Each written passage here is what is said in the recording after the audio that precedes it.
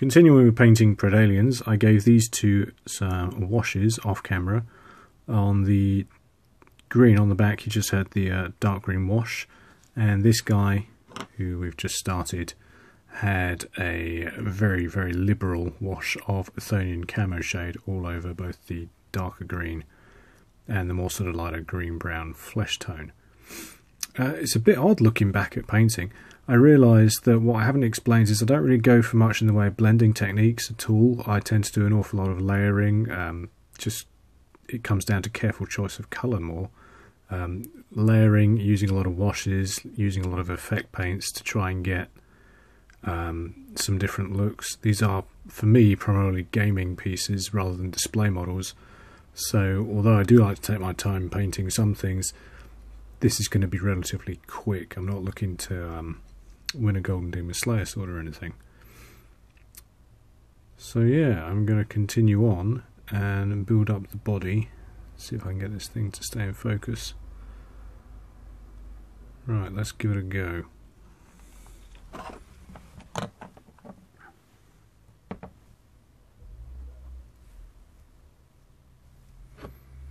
So having done the um, base coat of Elysian green and then washed over it, I'm going to go back over it with Elysian green and then move on to Ogryn camo and then the um, Ushabti bone. Just simple layering techniques, picking out certain areas that I want to highlight. Uh, and then every now and then I'll knock it back with um, wash of usually of Agrax Earthshade, probably mixed with a little bit of um, not Agrax Earthshade, the green one, that one, Athonian camo shade. Um, knock that back with a few washes. I like to use washes to blend colours. It works better on larger miniatures when you've got a larger surface area, but it works reasonably well on smaller models as well.